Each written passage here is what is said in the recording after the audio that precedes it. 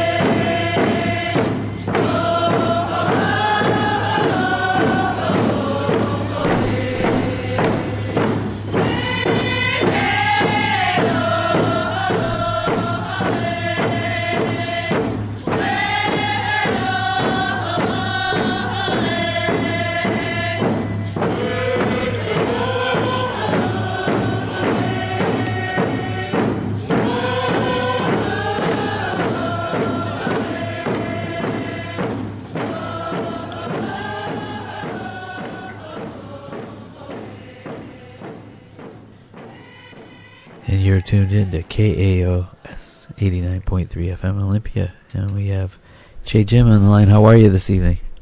I'm doing good. How about yourself? Good, good. Uh, appreciate you calling. Um, in, in, uh, uh, we're waiting for your mom, but uh, beforehand, maybe we could uh, just introduce yourself. We're going to be talking a little bit about a project you guys are working together on, uh, the Big Mountain uh, Sustainable Housing Land Recovery Project. It sounds exciting, and I'm really uh, grateful for your willingness to give us a call and tell us what's going on. So thank you. Absolutely. Do we get uh, want to uh, introduce yourself a little bit, or, or I can do it, I think. But it's always better coming from you in case uh, I miss something. Oh yeah, sure. Um, my name is Jay Jim. I was uh, born and raised in uh, Flagstaff, Arizona. I am uh, I am Dene and uh, Ottawa native. Uh, Dene from my dad's side, uh, Ottawa from my mom's side. I uh, um, am now, as you know, working on on, the, on, on a few different projects. I currently live in Phoenix, Arizona, um, and uh, do a lot of work down here with the uh, with the native communities. Um, and now I, uh, at the moment, I, I I do a lot of uh, work with uh, rehab centers down here. So down here around the Phoenix Tucson area, I, I reach out and do a lot of different types of uh, um, work again work with a lot of uh, addiction issues and and uh, learned uh, to uh, teach these these men and women about um, how to overcome addiction through native culture, native teaching, song, and uh, and uh, education. Um, at the moment, so uh, I am also also a father of two. I got a I got a little girl, and a little boy, um, and uh, yeah, that's that's uh, pretty much uh, a little bit about myself. Right, but so uh, um, Jay, how did you get involved uh, in in the this work? How how did that how did that come about? Um, well, I guess to um, start off, you know, to I, I like to think that I've always been involved. I like to Hello? think that uh, Yep, you're, again, you're uh, live with us. Go ahead, uh, just uh, Leticia. Yeah. Yeah, we're we're just uh, thanks for uh, joining us. So we're we're talking. He's uh, telling us a little bit about Chase, telling us a little bit about how he got involved. So when, when he's done with that, maybe we'll get you to introduce yourself. And uh, thank you so much for calling in. Okay, great. Good hearing your voice. Yeah, same here. So, s- okay, Jay, I'm sorry. Oh yeah. Okay. Sorry. so um, yeah. I, again, I like to think that I've always been involved.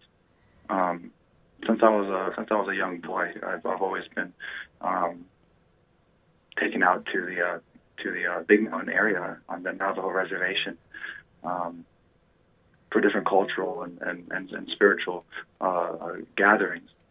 And uh, um, I, I was born in, in May, and even in, in, in the first few months of my life, my parents made it a big a big point to take me out there and uh, get different types of blessings and and uh, different types of uh, uh, get me involved in, in, in the ceremonies early in life. And so I like to think that I've always been involved.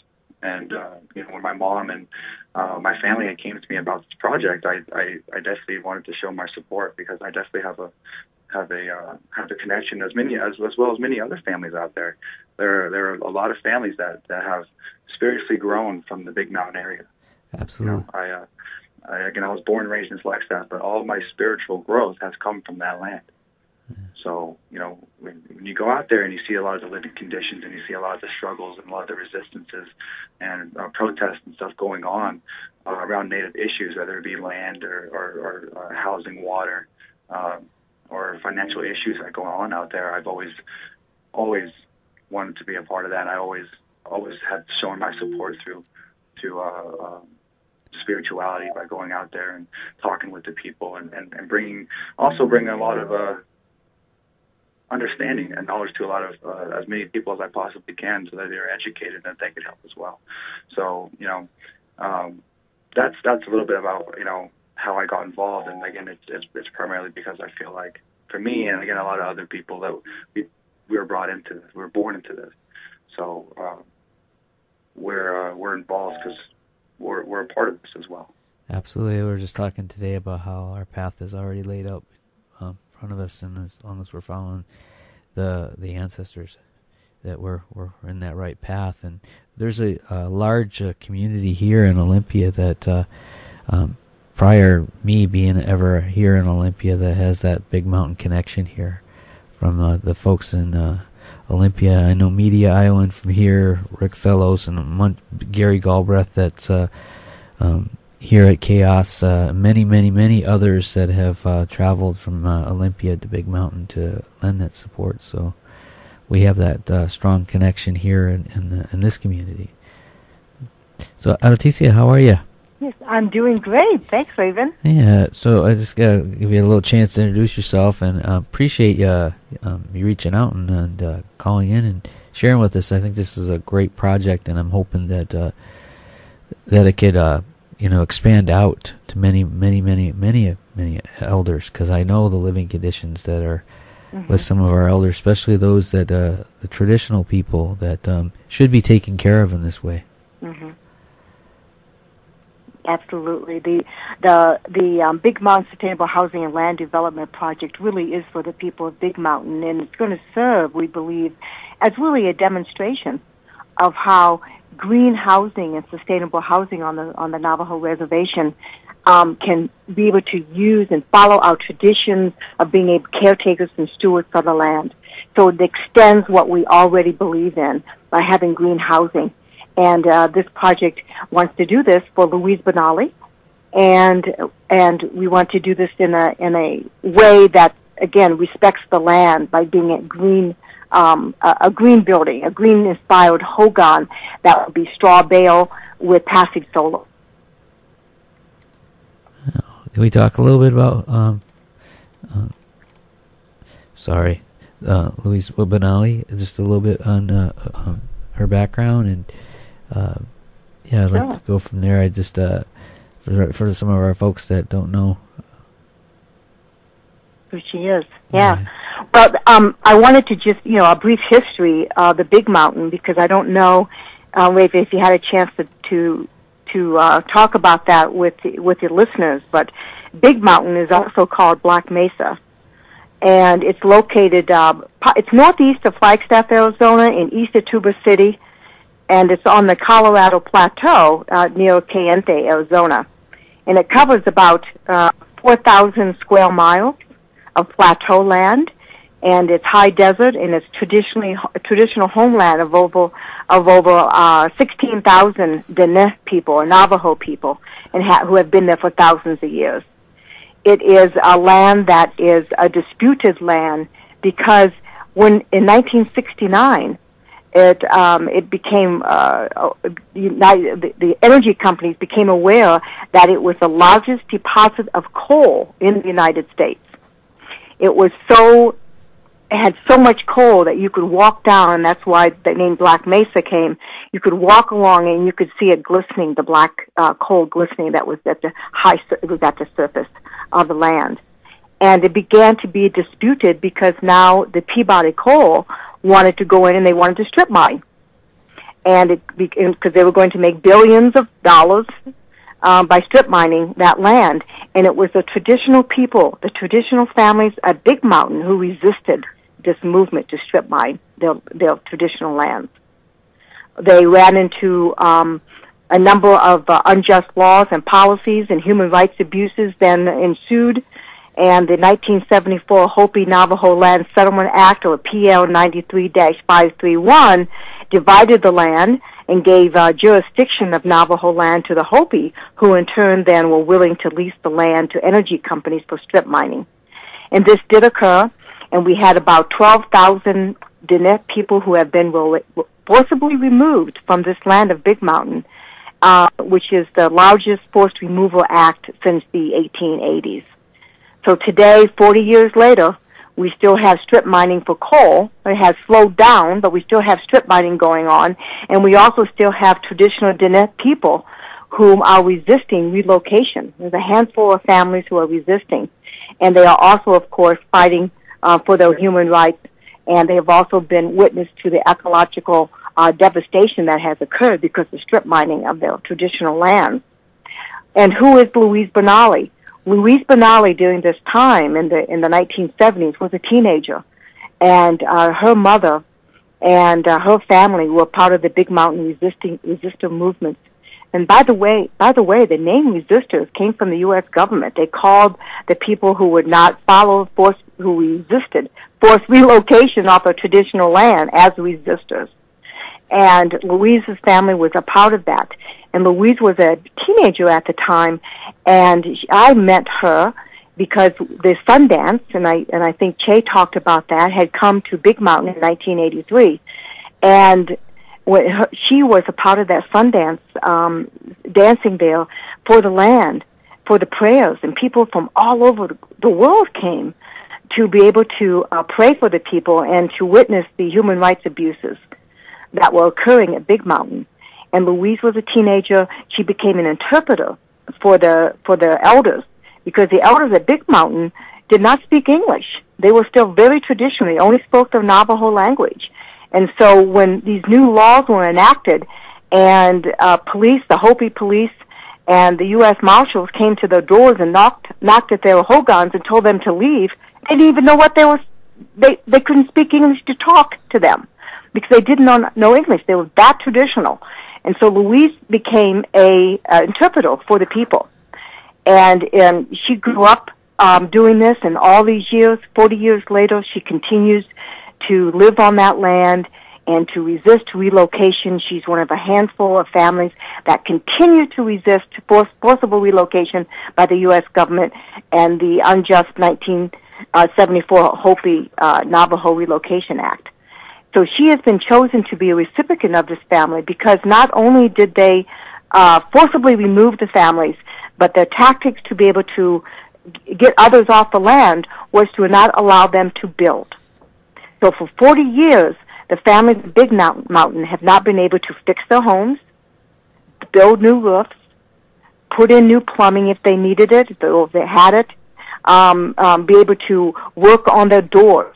And if you go to www.bigmountainhousingproject.org, you're going to see a picture of Louise and a picture of her Hogan and the way the Hogan looks. And you can see when you take a look at it, um, when it rains, water comes in because she can't build a new roof. The um, the doorway is coming off because the wood that holds up the doorway is rotten after 40 years and not being replaced. And uh, she has a dirt floor, which is traditional, but it's also very harsh living. And she's only been able to lay down flooring on half the Hogan. We want to see Louise to be able to stay on her land and to be able to um, stay there, live there in a livable, safe, and livable home. And this is why she's been chosen to be recipient of sustainable of a sustainable house. You know, a couple of things come to mind, uh, when you're talking. Uh, uh-huh. First of all, like the resistance uh, uh, coming from the United States government coming in, it seems like it's mm-hmm. a jurisdictional problem because of the traditional borders, for one. Then Peabody right. Coal Mine, you know, coming in and uh, I know the aquifers there uh, right. at, the, at that time were probably pretty plentiful um, compared to the way they are today, and fighting for that mm-hmm. water, and and so living in those conditions in, in their housing. Because I know folks that have been down there, and some of the elders, the, like her, um, are living without without any roof on and no Mm-hmm. insulation. And I know it gets a little bit warm, but not that much, not that warm in the mountains where they're at. So, Mm-hmm. how did um, I kind of I kind of know how you got involved, but all your role in it, bringing all this together. Um, how did that? How did you come come into play to to to be a part of the uh, Big Mountain Sustainable Housing? How did project? Well, um, there's a you know there's a teaching that we have um, as Sundancers, and I'm a part of the Sundance religion and have been uh, for 30 years. And one of the teachings that we have is, of course, that we give back. And um, I was um, um, aware of of the living conditions of the people of Big Mountain for many years. And I had the opportunity um, a couple years ago to go back out there and to talk to Louise and to talk to some of the other families and to look at their homes. And I was so saddened. I mean, I mean, Raven, I was I started crying to see the living conditions of these beautiful, of beautiful people who, by virtue of being uh, native people on land that is rich with coal, have to live in such conditions. And these are proud people who are sustainable and they're living, have always taken care of themselves and their families. And now they can't even have a home to live in that is livable. And it's a human rights abuse. Right. And I talked to Louise and I talked to other people and I said, let's do something. And that's how this project was born. and it's uh, um, you know, and just hearing you talk, it, it and knowing, I because I've seen some of them and some of our traditional people, the way that they're, that um, in the old way they'd be taken care of, you know, that uh, that these conditions wouldn't be be be there, and I know so many that live like that, and I. It gets me upset as much as it, it does you. I can tell, and it's important for all of us to give back, but it's important for people to to, to hear what's going on, and I I'm really appreciative for both you and Jay uh, for for sharing with us about that. And but how can we we can help? How what would I know? Uh, um, we go to the web page, and uh, um, from there, can you kind of guide us through? Sure. So if you go to the webpage, again, www.bigmountainhousingproject.org, all one word, and if you go to um, You Can Help, and you click on that icon, it's going to have a place where you can donate. And um, we have, uh, right now we have a campaign with Indiegogo where we're raising money, and so we have a challenge today that all activists and those with the, the those who, who are feeling this for our elders that you that you give ten dollars today. Um, you can go to that website. Um, you can you can click on um, Indiegogo and give through Indiegogo, uh, or you can click on and give straight away through um, Visa or MasterCharge. And there's both two icons that you can pick either way, and you can give today. And another way that you can also give is to volunteer. Because when we begin to build, we would like to see youth come out and to learn how to build hogans and to learn how to build traditional sustainable housing. And if you are interested in doing that, you can click on contact, contact me because it goes straight to my email. Contact me and I will put you on the list so that when we start building, I'll contact you to come out and help us. I love that you have here um, uh, community rebuilds. Uh, um, their uh, supporter and then uh, Lakota Healing Way Center um, Yeah. are involved. Uh, we talk a little bit about about that. with the Lakota Healing Way Center. Um, he's located here in uh, Denver, Colorado, which is where I'm at right now, and they're our fiscal agent. And they're they are a powerful group of um, caring uh, people uh, uh, whom are again have a healing center for drug and alcohol. And uh, you can go to their website as well and just put in Lakota Healing Way Center, and you can also give to us through through that through their website, and also you can see what they're doing and how you might be able to help with them. Yeah, I, I love the the relationship building, you know that that happens, Mm-hmm. and uh, how we w- comes with that teaching also that I know Harold Belmont talks about around here that we need each other. We just don't know how much we need each other. You know, Yeah. and it's really Mhm. important. And uh, you're you're also uh, says here, uh, you know, help build a. We need a build one straw, bale Hogan inspired home with passion and solar energy source.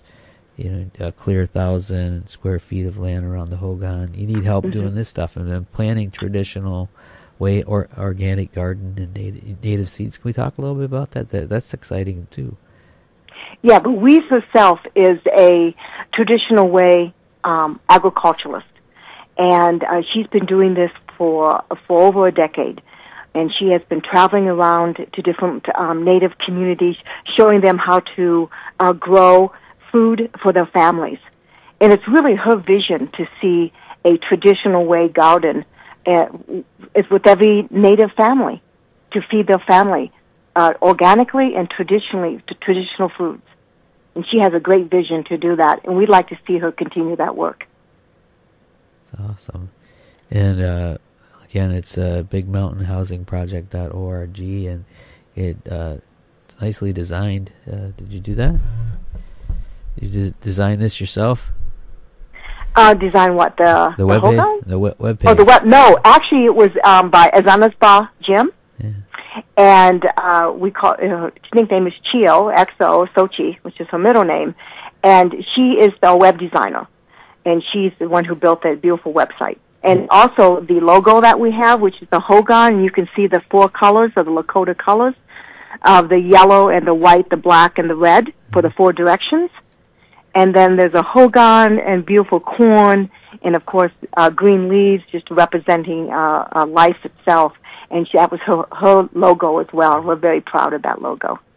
Yeah, it's really nice. And uh, there's a Facebook uh, page, folks. Uh, you could just type in Big Mountain Sustainable Housing Land Recovery Project and check them out and follow follow them through Facebook. And uh, just trying to, you know, uh, as we're as we're working um, towards this, I, I think it's really exciting. I know this is the the, the first uh, elder that you were going to reach out to, and uh, mm-hmm. so what are the plans in the once once that's done? Um, to reach out more and more to different people um, in, in that area yeah. or beyond? It is in that area in particular because again, the Big Mountain area has a great need for the people to be able to um, um, have um, uh, you know safe homes, livable homes. So we look at this Hogan as being a demonstration Hogan. well, others can come and literally take a look and uh, tour it and see how it's built and uh, see see its beauty and how it fits into the land and how and how it's built with materials that's sustainable. So we look at this as a demonstration project um, for others to be inspired to to build to rebuild their homes in uh, to, with with sustainable uh, materials. All right, and so. Uh, so if I'm hearing you right, what's exciting if people are down in that area or want to come down that area, they can come down and they can learn how to build these and help. Is that yeah? So, and Uh, they just have to contact you. That's right. They can just again go to our um, on our website, go to contact, and they can just email me and tell me that they have their interest um, to um, to participate in the building of the Hogan. The other thing we need too is that there's builders out there and people who have um, materials such as straw bale and other sustainable materials that they would like to donate we would gladly accept all donations. And uh, uh, Che, uh, are you still with us? Yeah. Yeah, I was just wondering if uh, you know uh, you're down in that area yourself. Are um, are you going to be um, part of the the people to come in and help train in that in that in that area? Absolutely. Um, you know, something you have to uh, remember is that whenever you are dealing with the the land or you're dealing with a lot of the struggle out there, that it all uh, revolves around a way of life. It revolves around um, traditional teachings um, of a people who who um, consider this land a very much a part of their family as as anyone. It's a part of their identity. It's a part of who they are. So you know, reaching out and and, and moving forward especially now and when you when you start digging into the land and you start altering different things going on out there, you have to think of it from a spiritual perspective too. So we want to make sure that we're also doing these things um, not only economically friendly, environmentally friendly, but also spiritually friendly.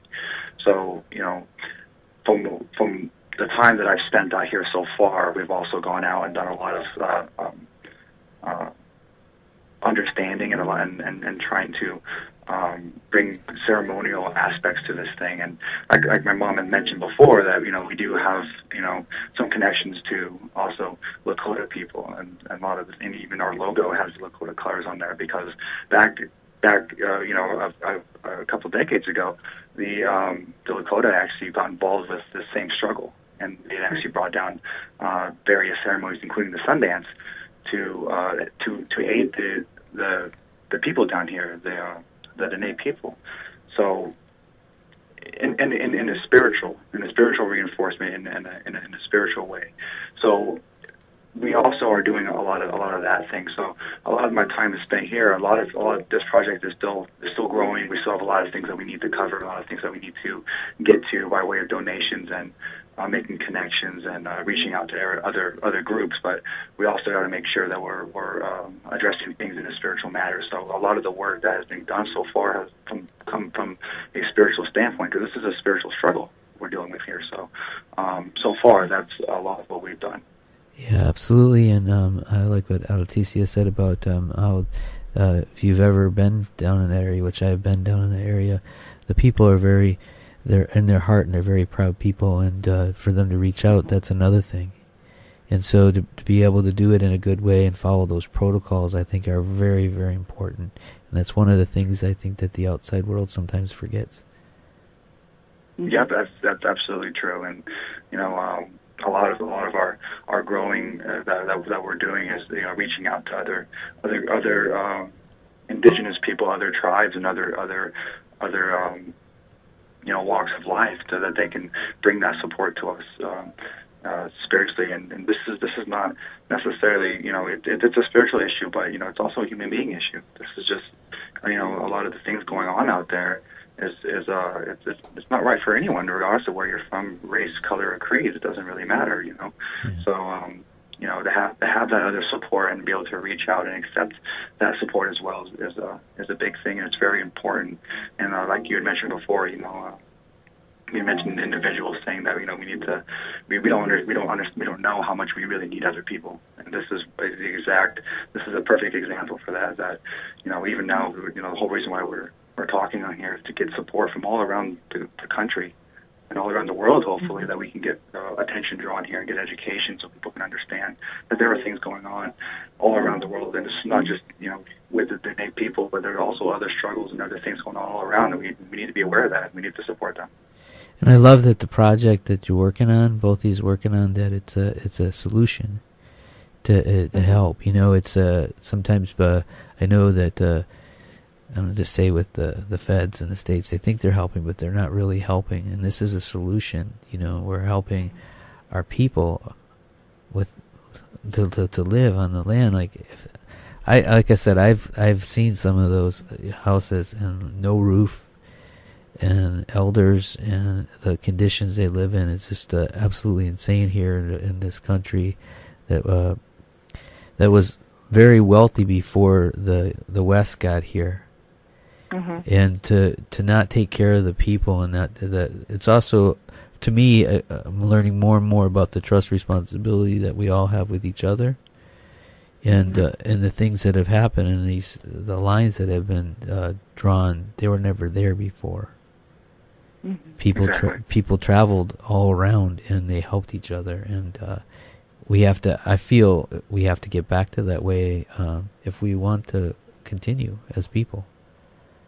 Hmm Yep, yep. And again, you're, you know, when, when you're dealing with an issue like this, you're dealing with people who have a, a very strong connection to to the earth. And something like I don't know if you uh, if you've touched base on this, but um, a lot of those people they they make a living off that land because again, it's a, it's a big part of their identity. It's who they are. It's where they've been. It's where they've always existed. They've always they've always uh, you know backed that up.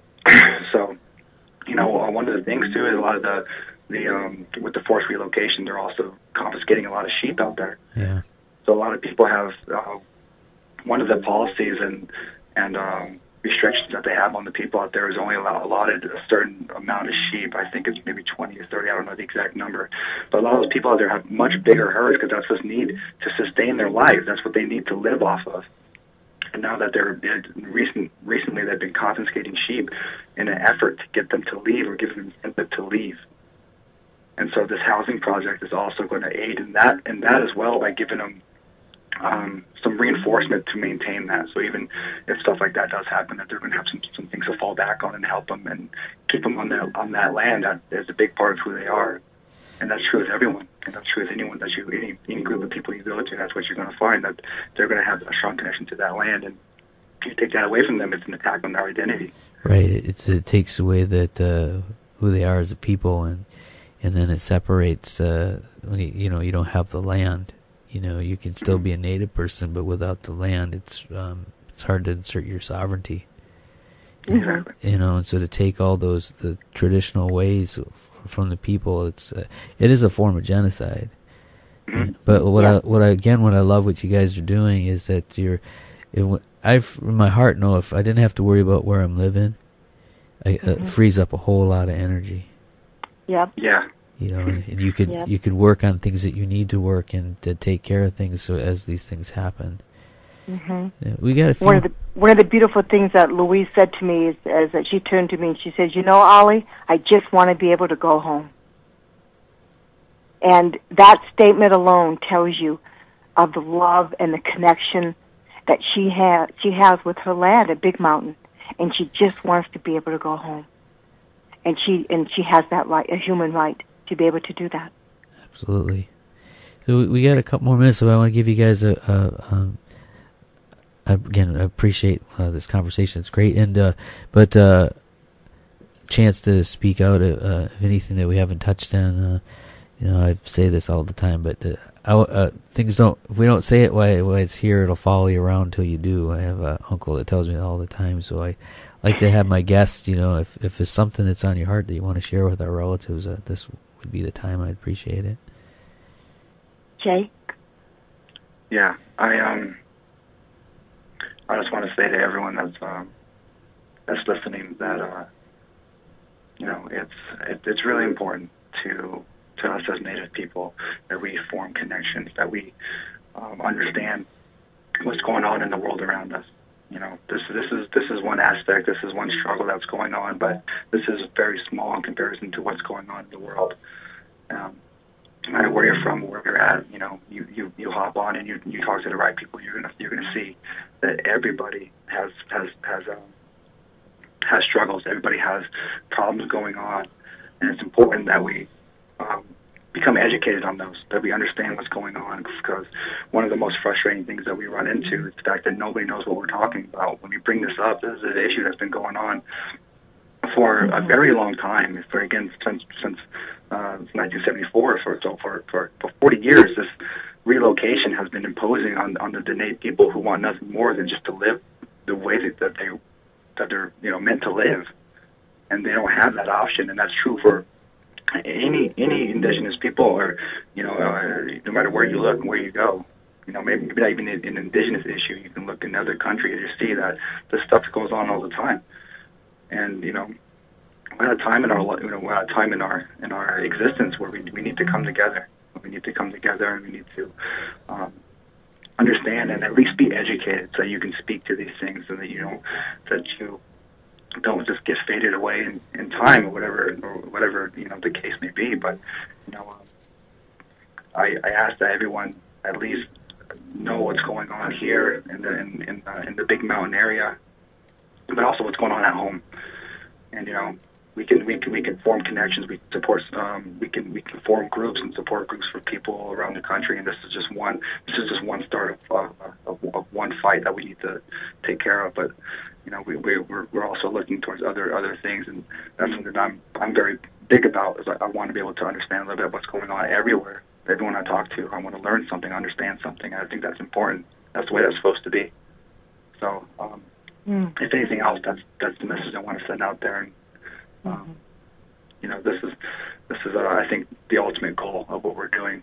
You know, we can support them in a in a in a, in a financial, economic, and whatever it may be in, in any way. But at the end of the day, it's all about just having compassion and and and, and knowing what it's like to uh, take care and take care of somebody else, which is a value that we live that we live by as uh, as Native people and as human beings. Absolutely. Mm. And it's their inherent right to live where they want to live because they always were there.